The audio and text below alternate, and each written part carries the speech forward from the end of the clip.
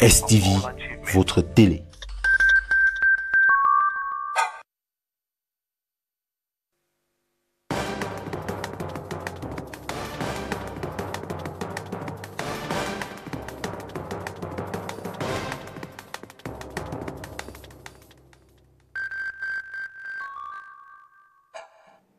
Benjamin Moukandjo, Clinton J, and Christian Bassogog have been left out from the first official 23-man squad list of Clarence Seedorf. Who then are the chosen 23? Find out in a moment. Plus, in less than 24 hours, Muslims around the world would be celebrating the Feast of the Ram. Preparations intensify as markets were overflooded, mosques clean, and dishes carefully chosen. Those are my list stories, ladies and gentlemen. Good evening and thanks for joining me. I am Henry Wana at the anchor in Douala. We begin this newscast in sport, whereby Clarence Seedorf and Patrick Levet have called up 23 players to play against Comoros come September 8, 2018, with two new players on board and the absence of Christian Bassogog and Christ, uh, Christian Bassogog, as well as Benjamin Moukandjo, have been notified. Meanwhile, no local base player is featured on the list. John Paul read through the list and now present to us in the 23-man shortlist of the new management team, three regular names during the last regime are nowhere to be found, as the 2017 AFCON best player Christian Bassogog is absent in this list, as well as fellow compatriots Benjamin Moukandjo, who was the golden boy and captain of the Lions under Hugo Broos. Perhaps he hasn't caught the attention of Clarence Seedorf and co.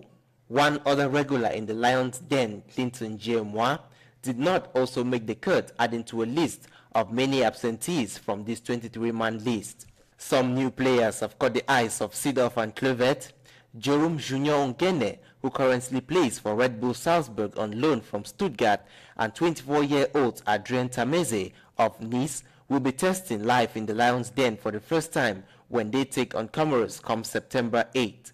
Paul's George Ntep has more been caught up to the camp after having played for the French under-18s to under-20 side and currently plies his trade with Wolfsburg in Germany. The notable comeback to the Lions' den is English-based defender Gaetan Bong.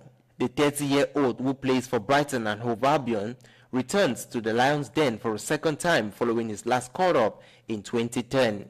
Idriss Carlos Kameni is back amongst the goalkeeping names with over 70 caps under his belt for the Lions and joins Andre Onana and Fabrice Ondoa at the goalkeeping compartment. The two Dutch tacticians on their first official list have kept faith with some old names like Fai Collins, Oyongo Bitolo, Zambo Anguissa, Vincent Boubacar, as well as Choupo Moting, amongst other top players, to defend the colors of the nation against Comoros as they prepare for the 2019 African Cup of Nations, which they've already qualified for by virtue of being the host nation. Worth noting is the fact that no local-based player has been called up to the men's senior national team. Still in sport, but this time around in brief, whereby the eighth final round matches of the 2018 Challenge Cup of Cameroon played over the weekend was full of shocks and surprises as current title holder New Stars of Douala got eliminated two goals to one by Dinspor of Lekki. Panther Sportive Dundee bundled out UMS of Lum from the race following a 3-2 victory. Union of Douala trashed Canon of Yaoundé three goals to one to stay in contention, while Renaissance of Ngumo humiliated Federal of Num six goals to nothing. The draws for the quarterfinal is scheduled for Wednesday, August 22 in Yaoundé. Now let's talk something else. Territorial Administration Minister Paul Atanga Nji has called on administrative and security officers in the Northwest region to do everything possible to ensure a hitch-free 2018 presidential election. He made the plea while chairing a security meeting recently in Bamenda. Lobebe reports. Funds have already been allocated by the President of the Republic to reconstruct offices of divisional officers that have been destroyed in the northwest and southwest regions in the course of the ongoing Anglophone crisis. This information was disclosed by the Minister of Territorial Administration, Paul Atanga Nji, after visiting the offices of the divisional officers for Bali and Bafut that recently suffered arson attacks. I wanted to tell the population is that the head of state, His Excellency Paul Biya, has provided funds to rehabilitate the GEOS offices in the northwest and southwest which were burned down by the terrorists. and the funds are already available. And in the next, the coming days, uh, at least the rehabilitation exercise will start. But we want to call on the population to collaborate with the forces of law and order because most of these terrorists are staying in our houses and we are keeping them. MINAT Boss has also condemned these acts of vandalism perpetrated by these unknown individuals. I think it's very, very unfortunate that these terrorists, whom I can say is just a small minority, think that they can take the state hostage and perpetrate these acts of vandalism. This is the Joe's office in Bafut. Uh, this is an administrative office providing services for the local population.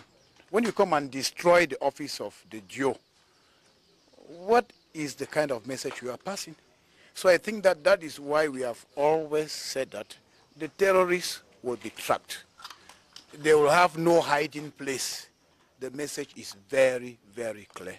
And I tell you that I've spoken to the population, and the population are totally against this form of violence and this act of vandalism. Structure that would soon be hosting the divisional officer for Bali, already under construction, shall also benefit from these funds. Arson attacks, especially on government structures, has taken the lead in the ongoing Anglophone crisis, with administrative buildings and government institutions targeted. Let we stay in Bamenda to continue talking about the recent visit of uh, the territorial minister, Paul Atanga-Nji. Shortly after that, he, he chaired a meeting with security officials as well as administrative head. Let's get the verdict of that meeting. According to the Minister of Territorial Administration, Paul Atanga-Nji, the Northwest region of recent has been calm with everything being under control. He made this declaration after chairing a security meeting in the Northwest region, attended by administrators and top-ranking security officers, aimed at evaluating the security situation in the region ahead of the 2018 presidential elections. The meeting was scheduled following the high instructions from the head of state, President Paul Biya, who asked me to make an evaluation of the security situation in the region. Globally, I can tell you that the situation is under control. The governor and the administrative authorities are doing a wonderful job. And the head of state told me to extend his encouragements to the forces of law and order, defense forces and administrative authorities who have done everything despite all the odds to put, maintain calm and a serene atmosphere in the region. We have major challenges and as you know that the most important challenge will be the forthcoming uh, uh, presidential elections. Uh, the message is clear. The head of state has asked me to tell the governors that they have to accompany ELECAM. ELECAM is an independent organization which is charged of organizing the elections. So uh, globally, what do we do? We give them logistics and we provide security and that is one that has been the main topic of the discussions, how to accompany ELECAM in the process. The minister has also called on those who are still hiding in the bushes to come out and surrender their weapons, for the state is ready to pardon them. So you have to lay down your weapons. If you're a prodigal son, you don't have any condition, just put down the weapons, come report yourself to the administrative authorities. Instructions have been given. They know what to do because if you don't do, at the end of the day, you are arrested and you are in for 30, 40, 50 years imprisonment. I don't think any person would like to stay in prison for 40 or 50 years because those are things which are linked to the law against terrorism. Administrative authorities and defense forces have also been encouraged to do everything possible to ensure a hitch-free presidential elections despite the security challenges the region is experiencing. Professor Maurice Kamto, flag bearer of the Cameroon Renaissance Movement Party, CRM, has concluded his five-day tour to the West region ahead of the October 7 presidential election. Let's have him make an appraisal at the end of his tour to the West region. Peaceful change in the country means the involvement of each and every one. Uh, it, it is a combat for every Cameroonian, Cameroonian citizen that's why I, I, I, I appeal to them to mobilize, to go and vote comes October the 7th. It is crucial. Even if you are a little bit sick, please do an effort to go and cast your vote because uh, uh, depending on that vote would be the victory or the failure. And I'm quite confident that Cameroonians are now mobilized to go and bring the change to the country. I will not succeed alone. I count on everyone. It is a common fight. It is a common, uh, you know, victory I need. And that's why I'm submitting myself and my program to all Cameroonians so that they know me better, they know my program better, and they are convinced they can be sure, that, reassured that I'm a faithful politician. I'm not uh, involved in politics. I'm not now leading a political party because I want to negotiate a particular position. Otherwise, I would have uh, uh, stayed in the government. I, I, you know, I've resigned myself from the government. No one kicked me out of the government. So if I'm here, it is just because the country is in very poor shape, very bad shape.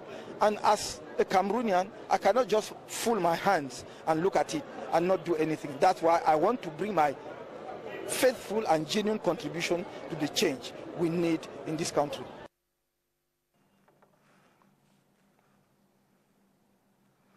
Aristide Ekambi is the new president of the Littoral Bureau of the Cameroon Journalists Trade Union. He emerged surprisingly after a consensus was reached by the head of the two contesting lists during an election that took place yesterday in Douala. Peter Sose report. Aristide Ekambi now heads the Littoral Regional Bureau of the Cameroon Journalists Trade Union. Though unexpected, he is ready for the challenge. Il y a beaucoup de frustration au sein de notre mouvement. There is a lot of frustration in the union. We have to sit together, talk and make peace. Then we will look into the different manifestos and merge them. Two lists headed by the now outgone President Narcisse Um and Charles Fongang respectively were due to contest in Sunday's elections. But on poll day, a protest breaks out as the electorate all registered members of the trade union wait in frustration.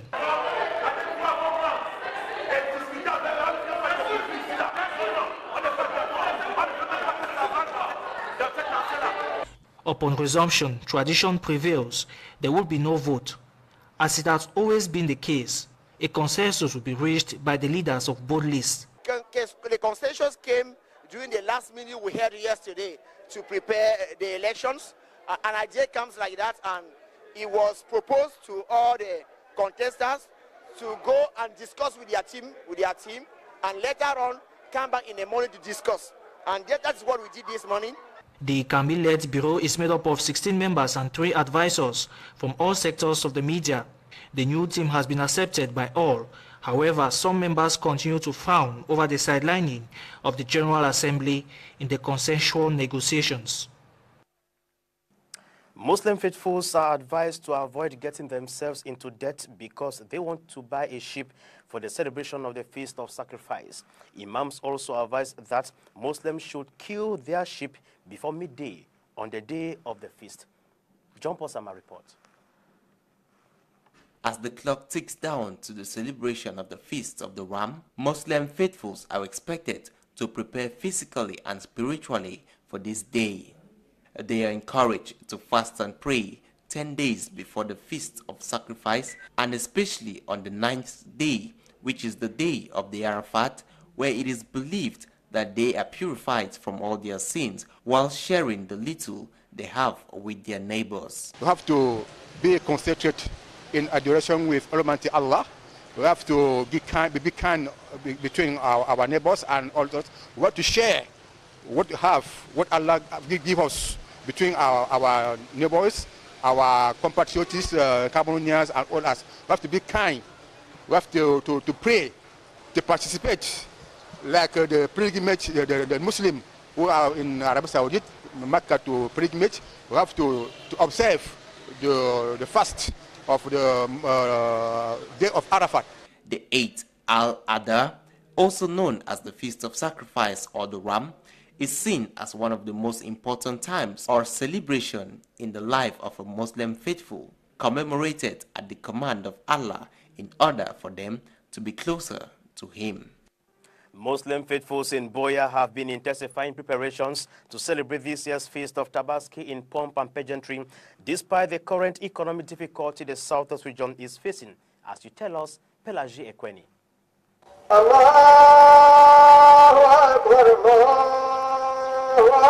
Celebrated 10 days of Dhul Hijjah, known as the climax of annual Hajj pilgrimage period, is a feast of sacrifice observed by Muslims all over the world. According to Muslim worshippers, this feast of sacrifice is a retrospect and a symbolic gesture of Ibrahim's commitment to God when ordered to offer up his only son, Ishmael. Commemorated August 21st, these faithfuls in Buea are set for the event brought for the current economic situation, which stands as a dispirited factor. The prevailing situation uh, with our communities within the northwest and the southwest regions.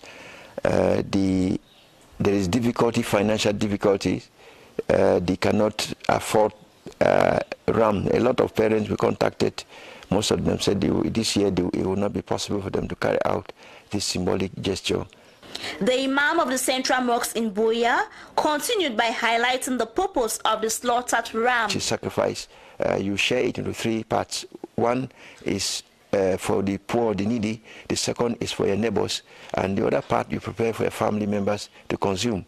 This is what is generally done uh, concerning the meat which is sacrificed on that day. Given the disturbing situation in the north and southwest regions, these Muslim here further made an appeal for weapons to be dropped and dialogue reinforced. Appealing to these our youth, these are children who are terrorizing the whole place. This is a moment for us to try to try and get into ourselves, try to think. Let us let us think and how far we've gone for two years, uh, we've paralyzed everything.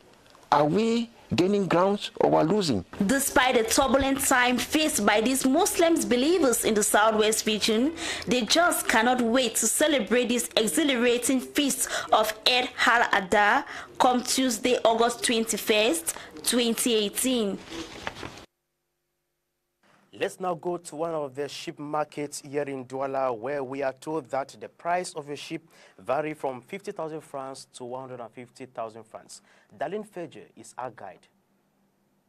Here at Village in the Douala 3 municipality, as you can see, the main item that is a sacrificial lamb for the Feast of Tabaskit is highly available. And most of the ram here present are from Maroua, Ngaoundéré, Niger, Central African Republic, and even from Chad. Here at the sheep market, prices of the ram vary from 50,000 to 150,000 francs, depending on the size and the quality. One, one, uh, 150 coming down, you know, there are bigger, there are moderate, there are small one. Then the 150 from uh, 75 coming to 50, like this one. I can, we can sell it uh, at uh, 50 and 52, 53, something like that. Yes, and due to the biggest data like this, like this very one, have you seen it? We can sell it a hundred down to the hundred. If possible, then we take the money. Yes, that is like this one. Coming to the 50, down to the 50, we can sell it. Yes, we are now waiting for market. Only this is what is happen. And the difficulties they face here are enormous, uh, especially their location. I just coming with the animal then some people that they are stealing their money and disturb them very seriously. For the last time, we have a general market in this place. Then the place is occupied by a government, and he gives some places to us, but the place is not uh, able to, to consume all of us. So now we are now in separatist place because some of the place are some people's house. They are now driving us to come out from the place. That's the problem we are facing now. Difficulties which they hope will be settled as soon as possible so that they can together settle on one location and sell their sheep as a family. Darlene Fejo, Gibe Mange here at the sheep market in Village. Thank you very much, Darlene Fejo. Preparations for the Muslim Feast of Sacrifice has reached fever pitch. In many households in Douala, clothing and food have been programmed. But the psychological preparation cannot be undermined, as you tell us, Peter Sose. Muslim faithfuls tell us preparing for the Feast of Sacrifice begins immediately after the Ramadan feast, and with barely 24 hours to the grand religious festival, the preparations have reached fever pitch. Triya Swebo is at work despite the public holiday, However, his mind is stretched back home on tomorrow's feast. In terms of what we call material preparation, it is about what we have to wear. Me personally, I will wear tomorrow what my family entirely will wear and what people will eat and the way we welcome them. It is a similar atmosphere at the home of Hassan Mohamed Singh, where his family is ensuring that visitors have enough to eat. Since we are African, we base more on traditional food, like my brother just said. Uh, for the bamu, you know what we call uh, fufu uh, and japsha. Uh, maybe for outside they have other uh, traditional meal. You know, it depends on the tradition. And we also try to modernize our meal so that uh, we uh, make the traditional meal and uh, the other modern meal so that everybody to feel free. The success or failure of the feast hinges on the sacrificial animal recommended by the Quran, and that too is taken into consideration one day to D-Day been noted that the first sheep you slaughter has to be uh, shared into three parties. The first now you have to give to the needy or those who are suffering, to the needy or those who are suffering. The second part you actually share with your neighbors and the, uh, your neighbors, and the third now you actually take the third part now to the family, and it is the third part that you actually cook. Either you roast the, the, the meat or you cook it in terms of in any way, then you share with uh, those that visit you. For a hitch-free celebration, each family must be psychologically prepared, and that entails everything must be in accordance with the prescriptions of Allah. To uh, sit on the table between family, now try to ask certain question that what was uh, what was done that was not supposed to be to be done, and what do we need to ameliorate uh, next year. As each Muslim family wraps up with the material preparations for the Feast of Sacrifice, they are even more conscious of the spiritual implications of the feast, which honors the faith of Prophet Ibrahim towards Allah. As Muslims do finishing touches against the Feast of Ram tomorrow, it is important to know what ram will be sacrificed and shared with friends and families. Veronica Aji now tells us the lamb criteria one must take into consideration before going in for a ram. Harry to celebrate the feast of sacrifice, one must slaughter a ram. On n'offre que ce qui a est de bonne qualité. Imam Daouda Abubakar Labarang insists on the four types that exist, Aris, bovine, caprel, and camel, but the Aris is the best choice. Once the choice has been made, other criteria come into play. Uh, the sacrificial lamb must be aged between 14 months to one year for the caprel, four years for the camel, at least two years for the bovine, and must be fully one year old for the Aris. Idéal pour le musulman, c'est d'avoir un bélier. Also, the lamb must be healthy, not have a broken tusk or rashy skin. Eid al-Adha or Feast of Sacrifice is the second and holiest of the two Muslim holidays. It honors the willingness of Ibrahim, Abraham, to sacrifice his son Ishmael as an act of obedience to God's command. Ces bêtes aussi ont une vie, une âme. Mais... To Imam Daouda Abubakar, one must never forget the ram has a soul and must be respected. Lorsqu'on veut l'immoler, donc l'immolation se passe d'un coup. As such, the sacrificial lamb must not suffer before its death. It is an offering and must be of good quality and pleasing to Allah. In Nus out of Cameroon, nearly 700 meters above sea level, is a cave in Mecca where the Prophet Muhammad is believed to have spent much time in isolated contemplation. Some pilgrims making the annual trip or Hajj to the holy city in Saudi Arabia brave a vertical climb to stand in a mountain-top cave where they believe Quranic revelations began. VOA. High atop Al Noor Mountain in Mecca is a tiny cave thought to be the birthplace of Islam. It is a grueling climb nearly 700 meters above sea level to the site Muslims believe the Prophet Muhammad often visited. It's indescribable. I mean, it's overwhelming to see that how his impact has been on this world. He's Rahmatul Alameen, mercy for all, all the, you know, Alameen. But uh, that's where it all started, you know, a very humble thing. You can't even stand there, you know. Hajj is the annual pilgrimage to Islam's holy city of Mecca. It is required of Muslims at least once in their lives. The climb to the cave of Hira is not an official part of that ritual, but for believers it is a trip through time to when Islam first began. We realize that this is a hike that the Holy Prophet ﷺ made regularly, and it's amazing that he and his uh, wife Hazrat Khadija anha made this hike regularly at their age, and so you know it gives you extra motivation to push your, push yourself and get to the top. The trek takes roughly 40 minutes, and true to tradition, most of these climbers are not typically dressed in hiking gear. Average high temperatures this week in Mecca are about 42 degrees Celsius. Well, it's an intense hike, and so you know you have to be aware of the obviously the temperatures. We got an early start this morning to make sure that we avoided the highest uh, temperatures.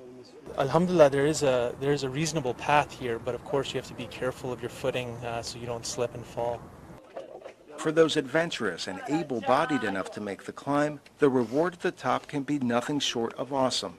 Beautiful actually when we experience that our Prophet actually uh, taken this journey in like this climate. And I was imagining that when it was there was no stairs and everything how Prophet used to come from all the way from Makkah and here. So I feel very overwhelmed. I can't speak actually like now and I'm feeling it sorry Muslims believe that it was in this cave atop Al Nur mountain that the angel Gabriel visited Muhammad and the Quranic revelations began. Hajj this year lasts through Friday evening. More than 2 million pilgrims are expected to attend. Arash Arabasadi, VOA News.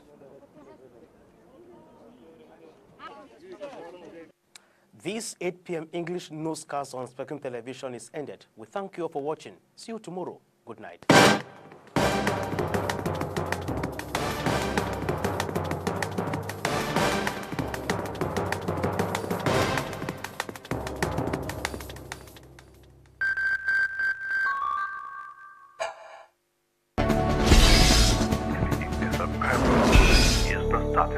STV, votre télé.